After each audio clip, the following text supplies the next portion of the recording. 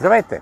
Днес ще ви представим един много специален автомобил. Един изключително интересен продукт на пазара, който в огромна степен противоречи на целия мейнстрим, на цялата мода, която движи автомобилната индустрия в момента. Става дума за новата Mazda CX-60 или CX-60 с дизел двигател.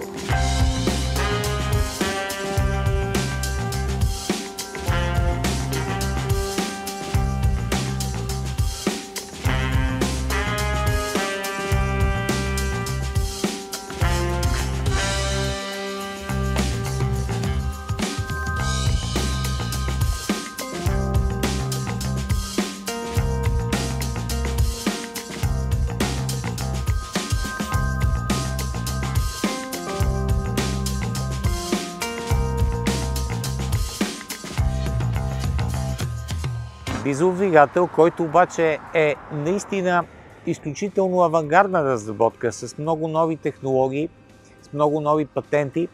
Дизел двигател, който дава изключителна свобода на движение и удоволствие от шофирането.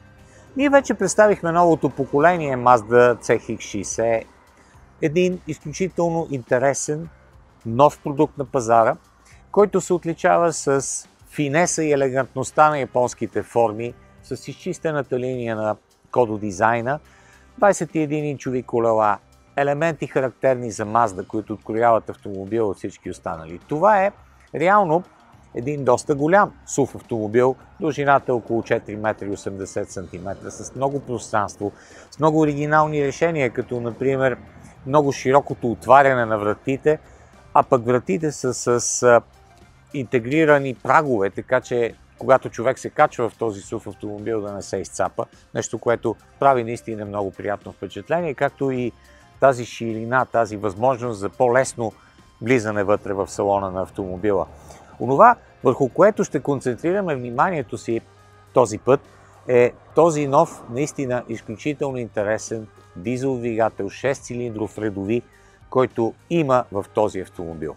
Този революционен дизел двигател е с много сериозен обем 3,3 литра и е в две версии с 200 конски сили и 254 конски сили. Задвижването на по-слабата версия е само на задните колела. По принцип, платформата, на която е изграден този модел е именно за задно задвижване, а по-силната версия с 254 конски сили е с задвижване на 4-те колела. Точно този вариант ние имаме за тест днес. Цените на дизеловите варианти на новата Mazda CX-60 са 87 150 лева за версията с 200 конски сили с задно задвижване и приблизително 10 000 лева повече за варианта 4x4 с 254 конски сили.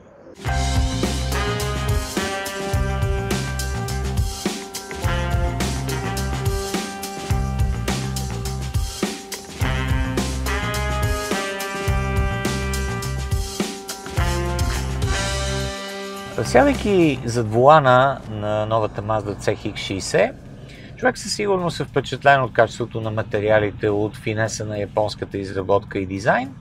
И в същото време няма как да не направи впечатление класическото оформление на салона. И отново, може би тази връзка с избора и на дизел двигател за този автомобил, съвсем елегантно но много чисто, много семпло организиран централен клъстър с а, диагонал 12,3 инча. Информацията зад таблото е също в класически формат, но много елегантни, много приятни на усещане, на допир са всички копчета и прибори, с които се управляват програмите в автомобила. Те съвсем не са малко, разбира се, свързани с, с а, изключително високо ниво на сигурност и на свързаност, разбира се, с а, всички модерни технологии в а, тази посока, но просто усещането е за едно движение в един по-класически автомобил в сравнение с повечето модерни SUV продукти на пазара. Пак в пряка връзка с а, новия дизел двигател, който е в центъра на нашето внимание по време на това пътуване и а, системата iStop, която осигурява едно много елегантно и добро стартиране на автомобила веднага след като той е спрял на светофара, например, като поставя а, едно от буталата в а, изходно положение, така че веднага двигателя да запали, без да е необходимо допълнително да се изразходва енергия. Със сигурност при движението на автомобила човек може да усети и другите технологии, като G-Vectoring, една наистина изключителна разработка на Mazda, която гарантира по-добрия контрол при управлението на колата при влизането в завоите. Специално при нашия автомобил трябва да отбележим и системата iActive, която е с 27 сензора, Тяхната задача е да следят поведението на колата върху, върху настилката и да прехвърлят съответно част от усилието към предните колела, за да се получи перфектната комбинация на контрол от четирите гуми върху пътя. Сензорите подават информация за поведението на автомобила в рамките на 200 пъти за една секунда. Със сигурност впечатление прави прекрасен head-up дисплей с доста богата информация. Предните седалки са с подгрев и обдухване, задните седалки също са с подгряване, волана е с подгряване, т.е. нивото на обзавеждане е наистина много високо. Динамиката на нашия тестови автомобил е наистина забележителна, защото ускорението от място до 100 км в час е за 7 секунди и 4 десети при разход на гориво според компанията от малко над 5 литра. В същото време при по-слабата версия с 200 конски сили, ускорението е малко по-слабо, но разхода на гориво е под 5 литра. Цифрите са наистина изключително впечатляващи. И двете версии са с автоматичната 8 степенна трансмисия на, на компанията. Разбира се, допълнителна динамичност в управлението човек може да получи с смяната на предавките от планки, които се намират зад волана. Режимите на движение се е, избират изключително лесно от е, таблото и с осъзнаема разлика в е, поведението на колата. Движейки се с новата дизелова Mazda, няма как да не направи впечатление от една страна нейната динамика, от друга страна доста ниските нива на шум, които поне усещаме вътре в салона. Да, той е перфектно обешумен, но дори отвън, тогава, когато е, стартирахме автомобила, се усещаше един доста по-различен звук от този, който традиционно сме свикнали да чуваме при класическите дизелови автомобили. Дизеловият двигател е с доста голям обем, именно във връзка с самия различен процес на изгаряне в цилиндрите на този двигател. Става дума за това, че Буталата и горивните камери са оформени по един много оригинален, много различен начин от всичко това, което познаваме. От една страна става дума за две яйцевидни камери, които са вписани една в друга в главата на буталото. Самото гориво се впръсква в рамките на 5 порции, разбира се, тогава, когато вече буталото отива до горна мъртва точка, така че с първото впръскване се обогатява самата гориво-въздушна смес с гориво и тогава, когато вече настъпи последния етап на доближаване на буталото до горна мъртва точка, се впръскват още общия брой е 5. Първо се впръскват две, за да се обогати сместа и след това от изключително сложния инжектор от други места на този инжектор се впръсква още малко дизелово гориво. Така че започналото възпламеняване се възпламенява цялата смес много по-хомогенно. От тук идва много по-доброто изгаряне, много по-низките вредни емисии, за които със сигурност трябва да говорим специално.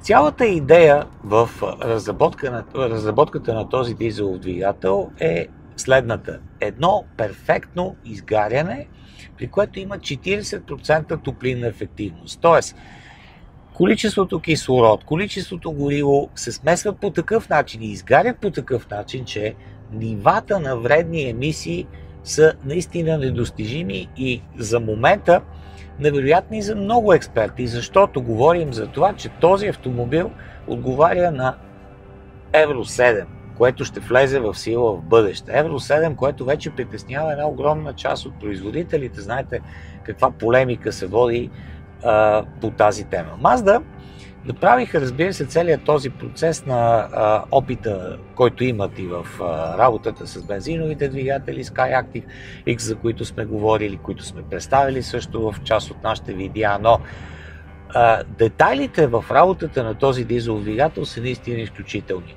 Следващия важен компонент, когато го описваме, е неговия обем, нали? защото много хора казват, да, това е изключително голям двигател, 3,3 литра, редови, 6-цилиндров мотор. Необходимостта от този по-голям обем идва точно от тази специфика в работата, защото ако обем е по-малък, натоварването е много по-голямо и а, не можем да получим този процес на горене, за който говорим. Следващ много важен компонент в а, а, така, характеристиките на този двигател и защо той е успешен и защо от една страна имаме а, така елементи, които са наистина неочаквани, много ниска консумация на гориво, много а, ниски нива на вредни емисии. Това е свързано с а, ниската, сравнително ниска степен на сгъстяване, което има този мотор. За да може да се осигури и а, по-нисък като температура процес на, на горене. Турбокомпресор, разбира се, нагнетява а, също с места до, до а, определена степен, минавайки през интеркулера, тя допълнително се охлажда и по-низката температура на процеса също е предпоставка за тези качества на този двигател, за, за които говорим. Просто много авангардно е мисленето на японците, действително против цялостната концепция за това, че ние трябва да затворим а, производството на дизелови двигатели, да ги унищожим и всичко останало. Те казват, не, не е така. В дизеловия двигател има още много живот, ние можем да направим така, че този мотор с а, съвсем стандартното и познато на всички гориво, може да работи по един наистина превъзходен начин. И следващия, естествено, супер важен компонент е, че с едно зареждане на резервуара с разход на гориво, който ние в момента 5 литра на 100 км, можете да изминете огромни разстояния. При това динамиката съвсем не е толкова слаба. Окей, много хора могат да кажат, да, за 3,3 литров двигател 254 конски сили са малко, но 500 ньютон, ньютон метра въртящ момент. И следващия много важен за мен елемент при управлението на колата е, че тя е достатъчно динамична. И в крайна сметка един SUV, който почти 2 тона, с задвижване на, на 4-те колела, който има много добра динамика. Тук трябва да добавим и следващия важен елемент в, в колата, именно 48 волтовата мал хибридна система, с която допълнително е обзаведен CX60 при самото стартиране, за което стана дума, при ускорението, което можем да направим сега, можем да използваме и допълнително електрическата енергия, която е още 17 конски сили. С други думи казано, към мощността на двигателя, която е 254 конски сили, трябва да добавим още 17 конски сили от работата на електродвигателя. Въртящият момент, който при дизеловия мотор е 550 Нм, също се увеличава с 153 Нм или реално разполагаме с 703 Нм още при 1500 оборота в минута. Електромотора пък е монтиран сосно с двигатели скоростната котия и между тях се включват силови електромагнитни съединители, които правят предаването на енергията изключително чисто. Комбинацията от това, което японците са измислили в областта на, на работа на дизеловия двигател с новите компоненти, които така или иначе имат като мал хибридната система, осигурява и това приятно усещане за а, управляемост, за движение на, на автомобила и а, всичко останало, което човек търси при а, един съвременен СУВ. Той е достатъчно голям, наистина много удобен, приятен за, за движение.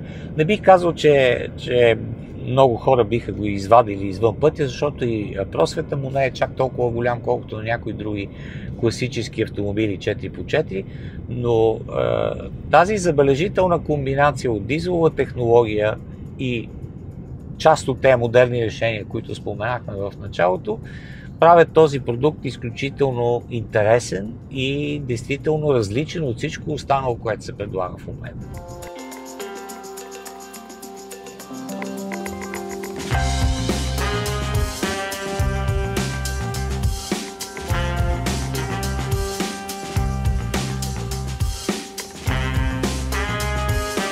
за вниманието.